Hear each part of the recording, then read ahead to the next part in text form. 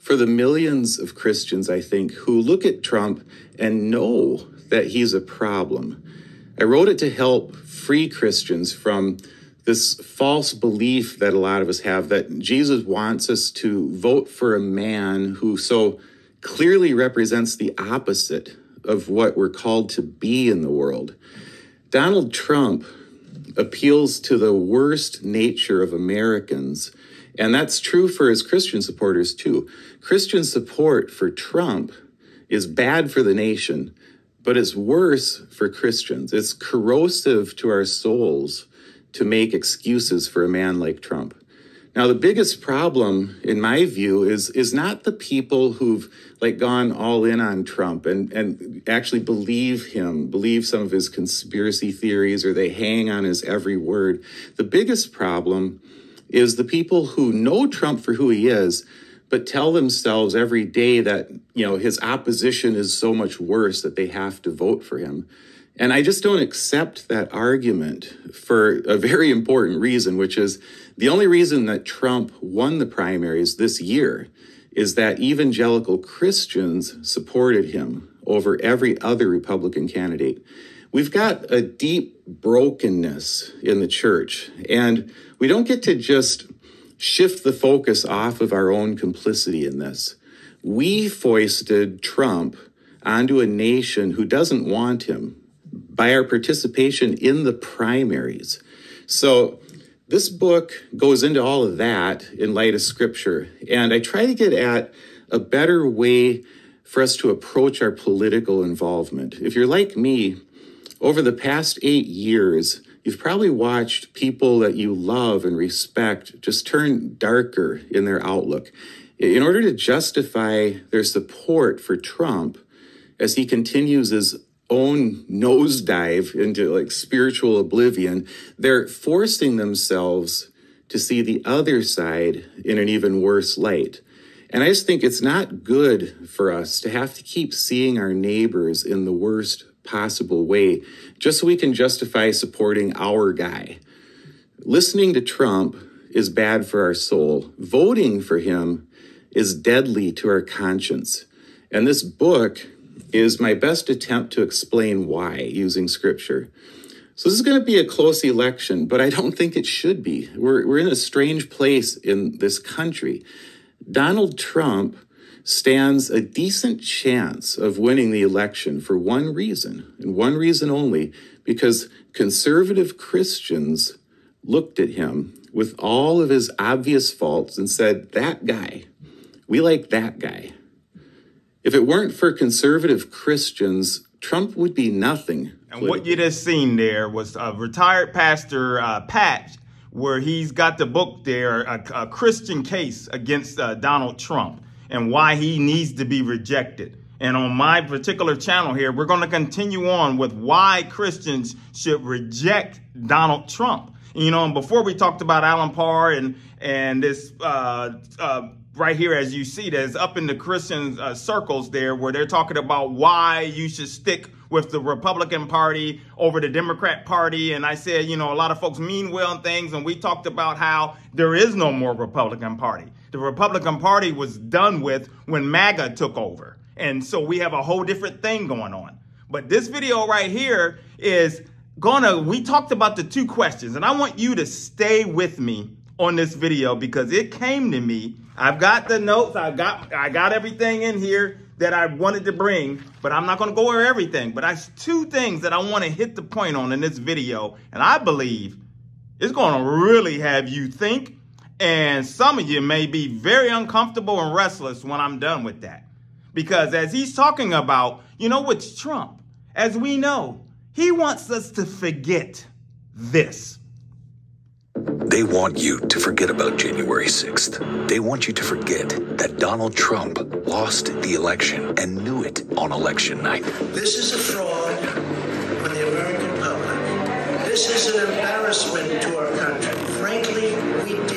He beat us by a whisker. They want you to forget any illegal conspiracy against the United States of America and every American voter. They want you to forget when they lost in court, that they used violence at the Capitol. But we haven't forgotten, and we won't. Trump and his associates are amping it up again, planting the seeds that will lead to the same violence and chaos. It's hard to say what you're going to do and what you're not. It's not over on election day, it's over on inauguration day. My answer is always conditional. The only way they're going to win, in my opinion, is if they cheat. Prosecute people that cheat. They cheat. Do you understand that, you crooked people? Senator, will you accept the election results? Hillary Clinton said we'll use constitutional processes to challenge issues. Assaults on police officers, threats to poll workers, 200,000 volunteers to be poll watchers. attacks on our institutions. In 2021, they failed to overturn the election. January 6th was a trial run. They learned lessons, put new allies in vital positions. It's going to take a civil war to save the country. If Kamala wins, Trump will make sure it's painful for America, but not nearly as painful if he won. There's a fight ahead, either way. And the- We can't forget that the man tried to overthrow our government. We can't forget that he's a convicted felon. We can't forget about his sexual assault. We can't forget all of that. But for some reason, people have. But the argument that I want to say for Christians, that as some of them in the thumbnail and men and many others, leaders, I'm talking about Christian leaders, pastors, millions of other Christian, conservative Christians and things. First off, the question is, do you believe the big lie that the election was stolen? And just like the pastor, uh, uh, Pat right there, the former pastor there, talked about did in the uh, primaries, who did you support in the primaries for those of you that vote? Because you had choices. But for some reason, you said, you know what? Despite everything I know. Now you get a pass from 2016.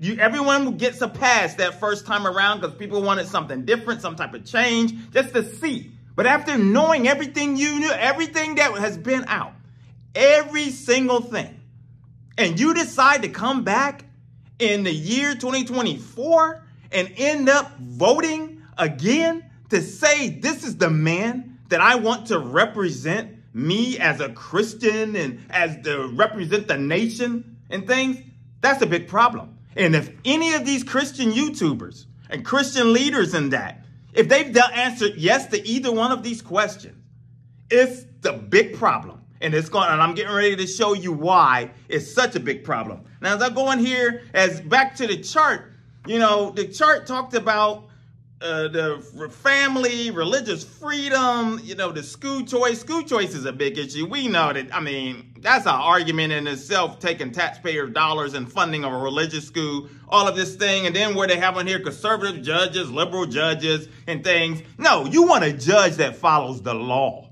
So, I mean, all of this is stuff that's argumentative, that can be argumented. You know, we can argue about, but you can't argue about it if you don't have a functioning democracy that we supposed to have that this MAGA movement is trying to take over and destroy. And that's the problem. So any any of these evangelicals and people that continue to stand by this knowing that Trump tried to thwart our democracy and continues to do so is they're under a strong delusion and totally deceived.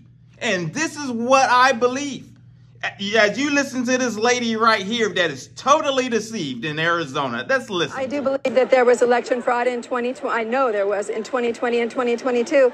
And we're new to Arizona in the last couple of years.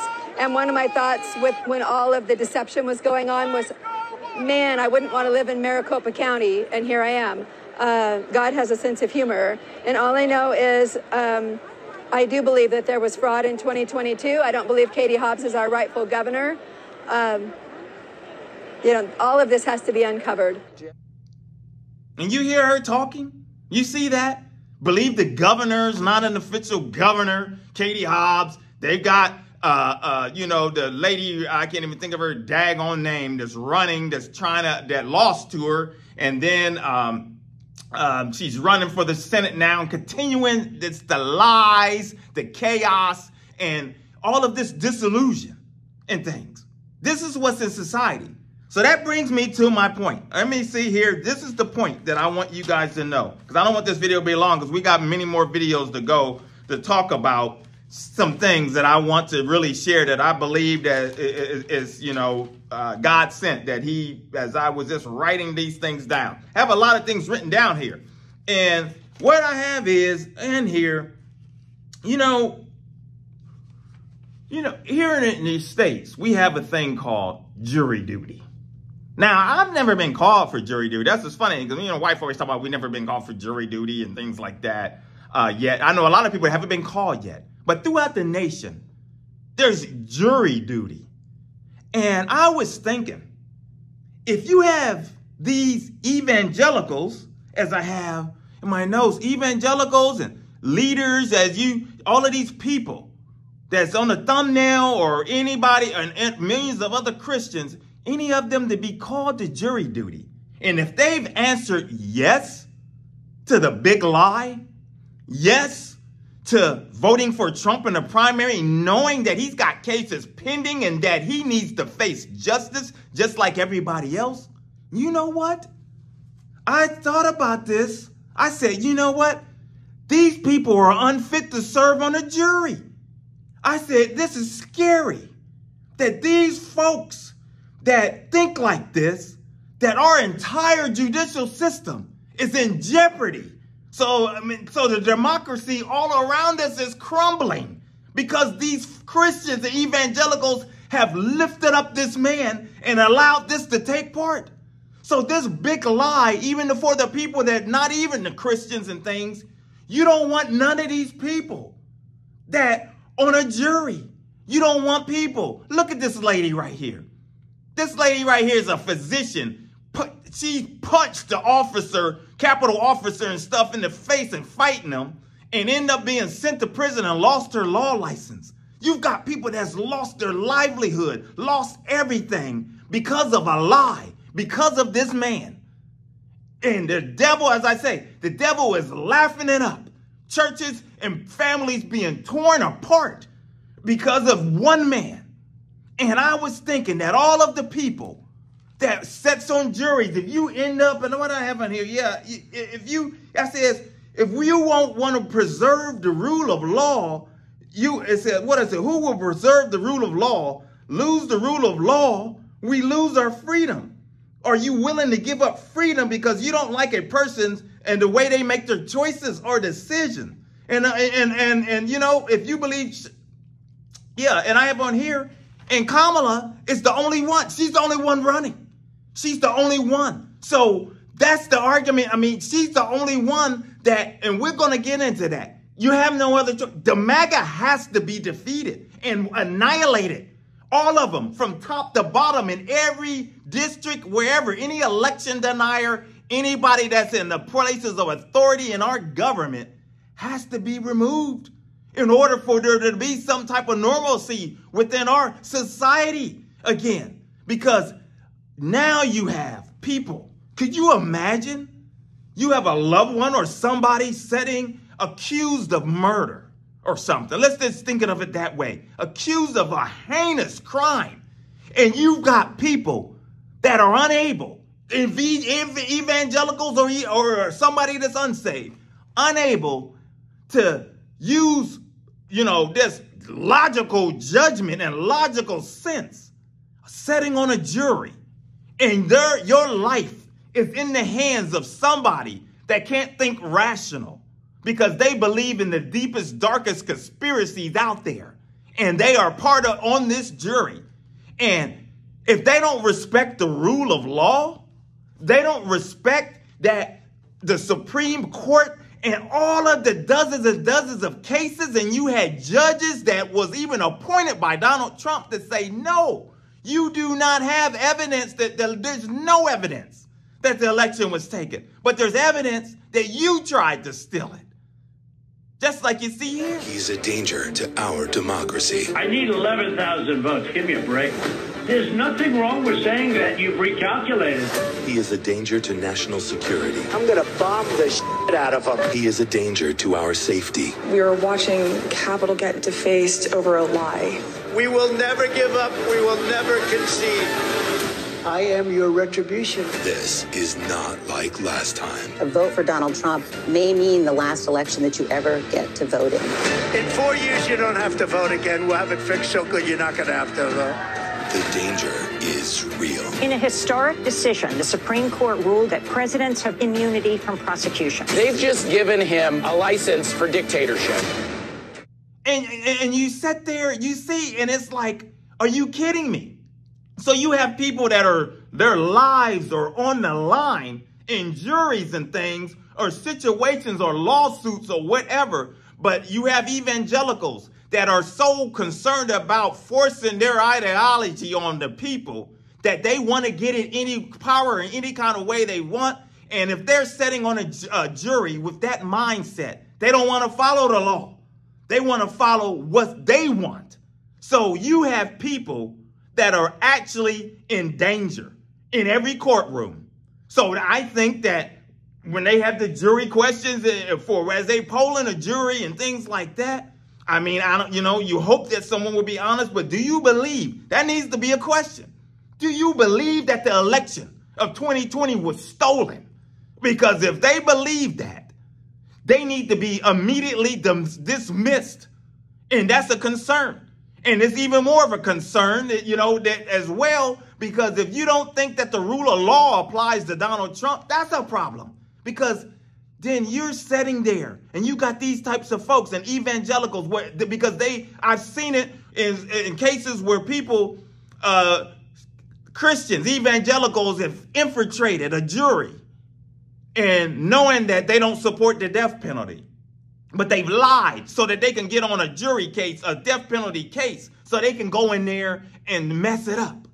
And is that fair to a family when the law is on the books and they may want that for the justice for their family member, whether we like it or not. Who do you think you are to try to twist scriptures and twist society into your liking? That's a problem. So we are in a dangerous, dangerous time spiritually, and the church is in a dangerous time. And this, I totally forgot the other thing as far as churches, because if these people believe in the big lie or they voted for Trump in the primaries, you know what? Another thing I thought, I totally forgot about it. Bylaws in the church. That means they, they, they don't follow. So they, that means that because they, they're, they're continuing to subscribe to Trump and his madness, that means as a pastors and leaders and all of these people, they can't be trusted as a juror. How can they be trusted as a leader within a church, a leader in some type of position, Christian organization, if they believe a big lie that Trump's word is gold, despite everything, all the other from every judge and everything within society. They still believe that. So, the, you know, churches have bylaws, organized churches. You know, a lot of these these churches that you see out here that's on the internet, a lot of them have no accountability. They don't have no board. They can do what they want or whatever. But real churches will have a bylaws of some sort, some type of a, a structure so even if they end up in court or something, they've got something to go back to to show, you know, this, this, or that, you know, this, and you look it up for yourself. And it made me just think, as I close this out, there's a pastor that I knew years ago here. He had a small church. He tried to get a church, uh, a larger church at one time, and they actually gave him the job. The board voted to give him the job. But guess what? Coming to find out, they found out before he was installed as pastor that he had been married four times. And he did not say anything about it. And they immediately voted to renege that offer. And oh, he was upset. He was so upset that he wanted to take them to court. He wanted to take them to court. How you going to force a church to make you the pastor when they don't want you? But that's what he was going to do. And you see, and, and, and so thank, you know, God that that church stood up for what was right. And as you see, these people that we're talking about, that anybody with that mindset, how dangerous that is, because if they're if they think like that, if they conduct themselves with this mindset like that, do you want them in leadership roles within the Christian realm? Uh, uh, uh do, do you really want that? Do you want them setting on a jury and somebody's situation or life is in their hands because they so warped in their thinking and their ways? See, that's a big problem. So we'll continue to talk more about it as we shine the light on this junk. Shine the light on the issues the church run, uh, run away from. Shine the light on the devil and his sneaky little tactics and take them head on and punch them right in between the chops. Evangelism for God's channel. My name is Maurice Braxton. To the next video, my friends, take care. God bless.